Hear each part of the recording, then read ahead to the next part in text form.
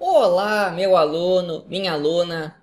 Eu sou o professor Gustavo Viegas e nesta aula nós veremos arcos notáveis. Eu vou demonstrar como preencher essa tabela com valores de seno e cosseno para os ângulos de 30 graus, 45 graus e 60 graus.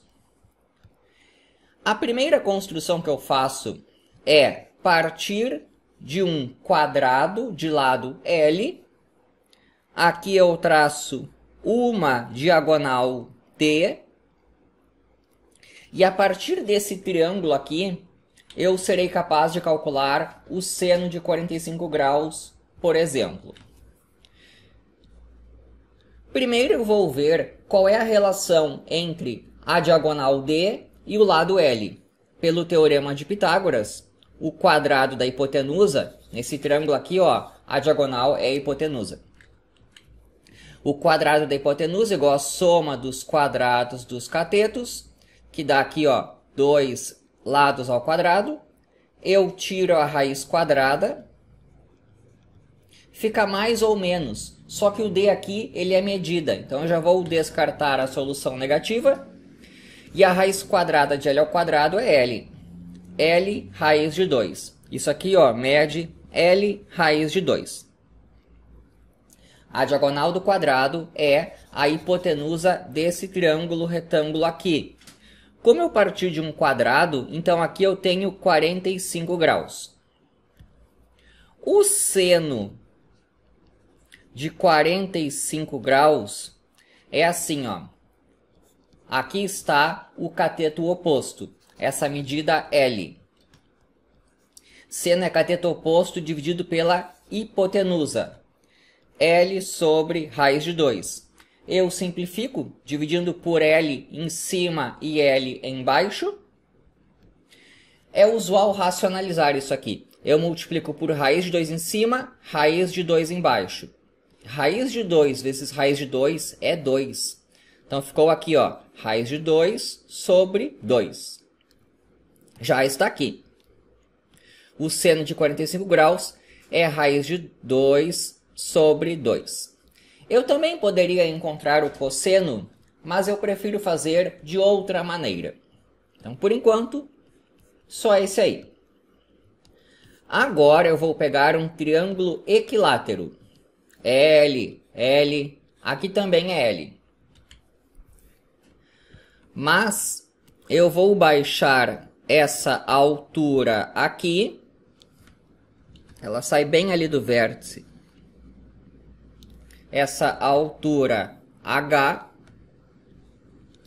De maneira que eu vou representar aqui, ó, por L sobre 2. Aqui, ó, eu tenho um triângulo retângulo. Esse ângulo aqui é de 60 graus e esse ângulo aqui é de 30 graus. Com essa figura aqui, eu já consigo encontrar o seno de 30 graus. Seno, colocar aqui, seno de 30 graus. Aqui está o ângulo, estou olhando para esse triângulo aqui. Cateto oposto é esse que mede L sobre 2. E a hipotenusa dele é esse L aqui. Então, ó, cateto oposto por hipotenusa, cálculo do seno desse ângulo aqui. Cateto oposto, L sobre 2, hipotenusa L, eu divido por L em cima, L embaixo, dá 1 meio. O seno de 30 graus é 1 meio. Para cá, 1 meio. Agora eu vou calcular o seno de 60 graus. Para o seno de 60 graus, eu preciso encontrar uma expressão para essa altura aqui. Então o que eu vou fazer é o seguinte. Olho só para esse triângulo e vou aplicar Pitágoras. Isso aqui é hipotenusa, isso e isso são catetos. O quadrado da hipotenusa é igual a soma dos quadrados dos catetos e eu estou buscando uma expressão para a altura. Isso aqui dá L ao quadrado sobre 4, que eu já vou subtrair dos dois lados. Entendeu, né? Ó, L ao quadrado sobre 4 estava do lado de cá e foi para lá. Aqui eu tenho L ao quadrado, aqui eu tenho menos 1 quarto do L ao quadrado. 1 menos 1 quarto são 3 quartos. Isso aqui é o h ao quadrado. Eu tiro a raiz quadrada.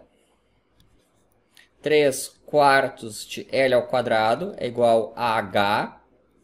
Ficou mais ou menos, mas eu já estou descartando a solução negativa, porque o h aqui é medida. Raiz quadrada de 4, 2. Raiz quadrada de L ao quadrado, L. Aquele raiz de 3 ficou assim, isso aqui é o h. Então eu obtive L raiz de 3 sobre 2. E eu volto para esse triângulo aqui. Dali eu obtenho agora o seno de 60 graus, que é assim, ó. Aqui está o ângulo. O cateto oposto é o H, que eu acabei de calcular. E a hipotenusa é o L. Então, ó, vai ser H dividido por L. Só que o H vale L raiz de 3 sobre 2. L raiz de 3 sobre 2, que é o cateto oposto, dividido pela hipotenusa L, eu divido por L em cima, L embaixo, raiz de 3 sobre 2. Então, vem para cá, raiz de 3 sobre 2. Eu poderia fazer muito parecido para preencher o cosseno, mas eu considero mais importante explicar um pouco mais de teoria, que é o seguinte. Aqui eu tenho um ângulo alfa, aqui eu tenho um ângulo beta. Aqui o ângulo de 90 graus. Como o alfa mais beta mais esse somam 180 graus, que é a soma dos ângulos internos de um triângulo, então o alfa mais beta somam 90 graus. Vou colocar umas letras aqui, B, assim. Olha algo muito importante. Quem é o seno do alfa? O alfa está aqui. Seno do alfa é cateto oposto pela hipotenusa, C sobre A. Quem é o cosseno do beta? Aqui está o beta. Cosseno é cateto adjacente pela hipotenusa. Deu a mesma coisa. Esse resultado é muito importante. Quando eu tenho dois ângulos cuja soma é 90 graus, então o seno de um é o cosseno do outro. Com isso, eu completo a tabela ali em cima. Funciona assim, ó.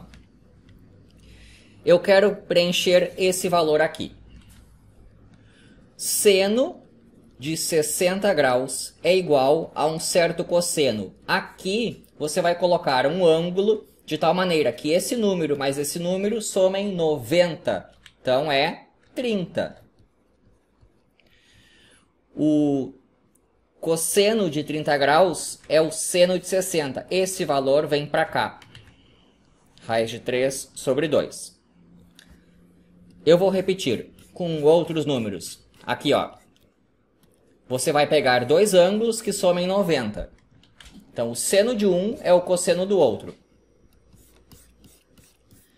Vou colocar, por exemplo, agora o seno de 30 graus ele é igual a um certo cosseno.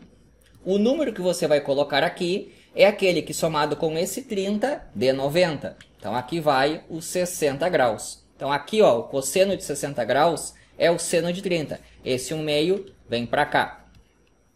Então agora você entendeu que o seno de 45 graus ele é igual a um certo cosseno de um ângulo que é assim, ó, esse mais esse soma 90.